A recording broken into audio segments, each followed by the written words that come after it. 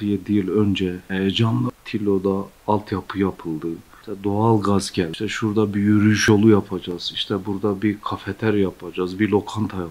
İşte burada bir konuk evi yapacağız falan. Heyecanlarını anlatıyordum.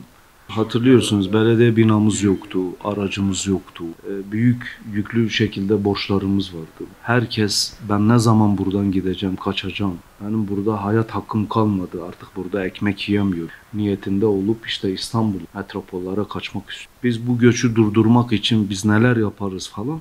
Altyapıdan başladık böyle adım adım. Önce nüfusu e, kaçışını, yani nüfusun buradan gitmesini önledik. Şimdi geriye bir dönüş başladı. Bu bizi çok sevindiriyor. Ama bu projelerimizin adım adım böyle sırayla böyle bir program şeklinde yapmaya çalışıyoruz. Şimdi bizim bu altyapı problemleri falan bittikten sonra iki tane tarihi mezarlığımız var.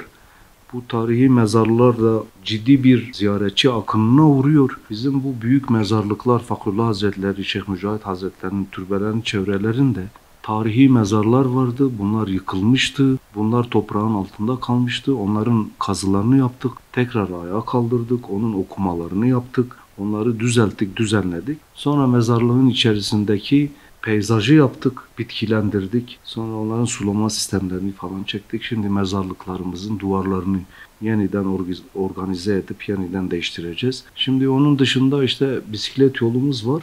Kale bölgesine giden yolun üzerinde 3 kilometrelik bir bisiklet yolumuz var. İnşallah onu bitirmeye çalışıyoruz. Şimdi burada Hasya Hatun türbesi var. Onun türbesi de özellikle Siirtli vatandaşlar tarafında çok uğrak yeri. Ama maalesef mezarlığın içinde piknik alanına dönüşmüştü. Bu bizi rahatsız eden bir durumdu. Aslında orası bir ibadethane. Şimdi onun çevresinde 40 dönüm üzerinde bir millet bahçesi yapıyoruz. O da %60'lara geldik. Oraya muhteşem bir millet bahçesi yapacağız. Siirt'ten gelen vatandaşlarımız, dışarıdan gelen ziyaretçilerimiz gidip orada ibadetlerini yapacak, ziyaretlerini yapacak. Daha sonra eğer piknik yapmak isterlerse çok güzel bir millet bahçesi kurmuş olacağız onlara. Gidip orada günlerini tamamlayacaklar sonra gönül rahatlığıyla evlerine gidecekler.